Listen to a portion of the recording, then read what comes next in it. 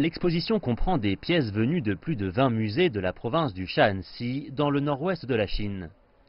Les pièces les plus précieuses sont d'authentiques soldats et chevaux en terre cuite. Sont également exposées des répliques en bronze de chariots tirés par des chevaux et plus de 160 magnifiques œuvres d'art anciens chinois fabriquées en or, en jade et en bronze qui ont été déterrées dans le Shanxi. Les soldats de terre cuite ont une valeur académique. L'exposition n'est pas seulement destinée à être vue, mais aussi à diffuser les connaissances, étant donné que certains des soldats étaient peints et que certains d'entre eux ont été gravés avec des caractères et des noms.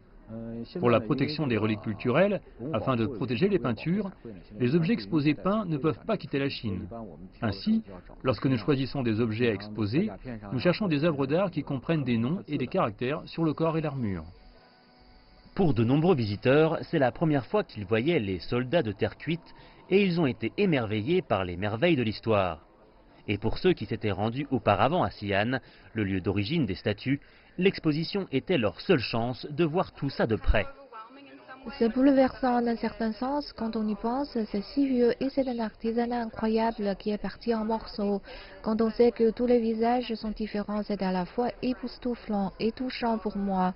Tout ce qui a été fait vient d'un endroit où on a atteint un sommet de compétences artisanales. Cela rend humble, surtout quand on pense que ça a 2000 ans. C'est très impressionnant. Je pense que nous avons beaucoup de chance ici à Wellington d'avoir l'opportunité de les voir en vrai comme ça. Comme je pense l'avoir dit avant, je suis allé à Xi'an et je les ai vus. On les observe de haut dans une fosse. On ne réalise pas à quel point ils sont grands. Ils sont à taille humaine. C'est incroyable, tout simplement incroyable.